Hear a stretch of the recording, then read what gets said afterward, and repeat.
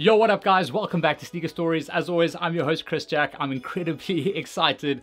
I don't know if you can see because this morning, out of nowhere, well, seemingly out of nowhere, the Cloud 350 V2 reflectives dropped here in South Africa. Now, we didn't really know if we were getting reflectives here in South Africa or not, but today, just boom, out of nowhere, complete shock drop. Literally was standing at the vet with my cat this morning. He's fine, don't worry.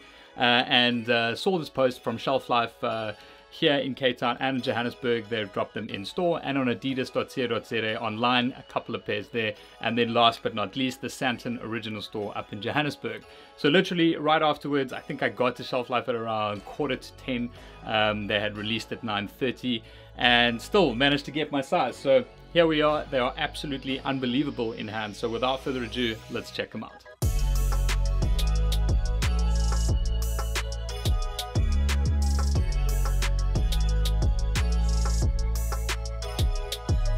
Thank you.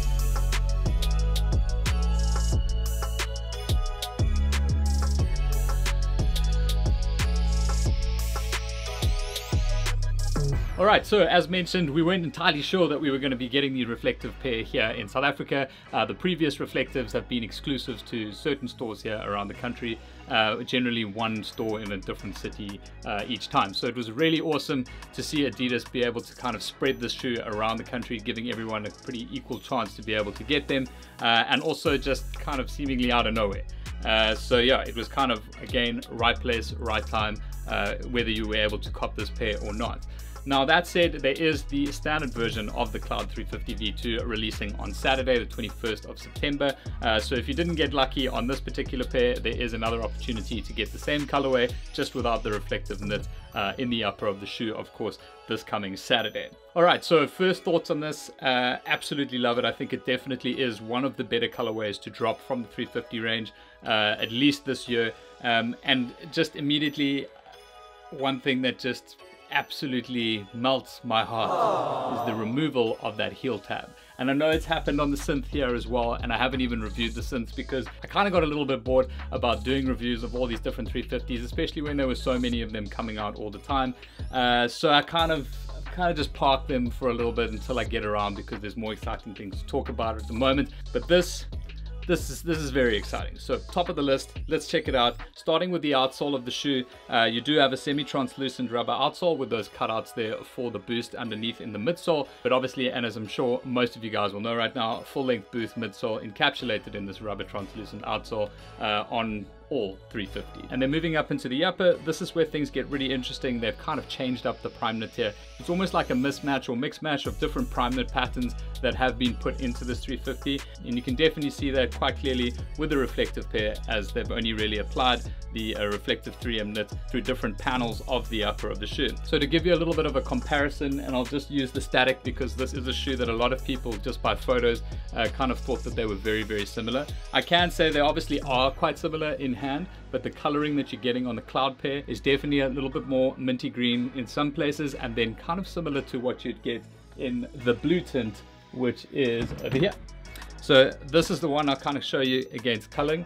Uh, this is obviously a little bit darker, but for me, the kind of bluey tint that you get from the blue tint is very similar to what you're getting in the clouds. So I know it's going to be hard to pick it up on camera, but just know that there is a little bit of green in this panel up here and then below it is kind of more of a blue coloring as well. But to go back to the static again quickly and just to show you the difference in the paneling, you'll notice this top panel up here is completely plain. It's almost like a different colorway. Um, whereas on the static pairs, you also have that continuous static pattern, which is present throughout the upper of the shoe. Here, it's kind of this awesome change up. The laces of the shoes are done in this minty green color. It's, it's very difficult to tell you what the color is because it's kind of minty green to some and kind of blue to others, but it's, it's somewhere in the middle of green and blue, if that makes sense. And then swinging around to the heel section of the shoe, that plain pattern really rolls through here. It's almost a white by the time you get to the heel. Uh, and obviously, most notably, you don't have that heel tab anymore, which is definitely one of my favorite uh, features all the way since the Beluga uh, V1 over here. Um, it's something that I've been missing on the 350. For me, it just makes the shoe a hell of a lot cleaner on foot. Um, and yeah, obviously the synth and some of the other colorways that are coming out now do not have that. Uh, so yeah, that's a real big bonus for me. I don't know how you guys feel on it, but you can let me know in the comments. And just to show you the insole, the coloring on here is kept completely tonal, also in that greeny blue color, same color as the laces, uh, with the Adidas and Yeezy branding on there, of course. But that essentially is all there is to the Yeezy 350 V2 Cloud reflective pair. Now, if you do want to get a pair of the reflective, unfortunately, you're going to have to look to the resale market. Uh, if you are watching this from anywhere outside of South Africa, as far as I understand, they haven't released these in all territories yet, so you might still be able to get lucky. But then again, as mentioned earlier in the review, uh, you still have a chance to get the standard version of the 350 V2 Cloud on Saturday, the 21st of September at all participating retailers and adidas.co.za uh, original stores here locally and of course shelf life as well. From a sizing perspective, it is pretty common knowledge now to take a half size up in the 350 V2s.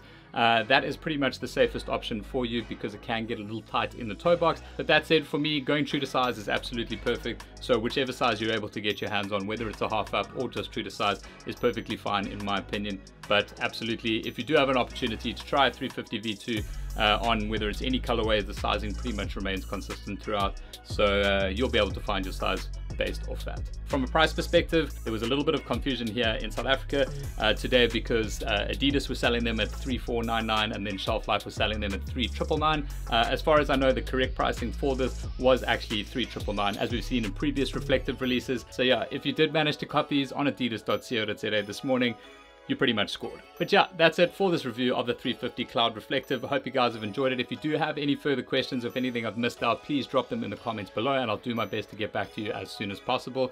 Otherwise, please give the video a thumbs up. Don't forget to subscribe right here and I'll catch you on the next one.